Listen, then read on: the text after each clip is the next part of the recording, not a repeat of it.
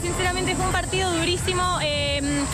Las, la- las semifinales se juegan, eh, este fue un rival durísimo, sabíamos que iban a salir con todo, la verdad eh, creció un montón, el- este, este país creció un montón. Nada, no puedo más, creo que lo entregué todo, no, no puedo mantenerme de pie de, la- de los nervios, la emoción y el cansancio. ¿no? Sí, la verdad que súper contenta. eh, y nada, felices, ¿qué te puedo decir? Felices porque se consiguió lo que veníamos a buscar, que era estar en una final olímpica. Eh, no sé qué decirte, la verdad todavía como que mm, desde que terminó el partido yo no paro de llorar, no sabes comer de los ojos. Eh, no lo puedo creer, estoy feliz. O sea, realmente que es lo que soñé desde muy chiquita y voy a decir, ya tenemos una medalla, es como... ¿Qué?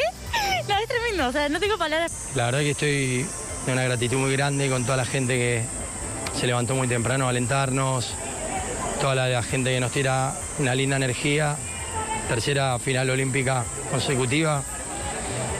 ¿Por qué tanto, no? Y creo que tiene que ver con el premio al trabajo, a un proyecto, a un método de trabajo que estamos convencidos y que, y que bueno, que, te premia, que te premia. El tema es que que no tiene que ver con el éxito ni tiene que ver con ganar una medalla, tiene que ver con, con quedarse tranquilo y apoyar la cabeza en la almohada la noche tarde de que fuimos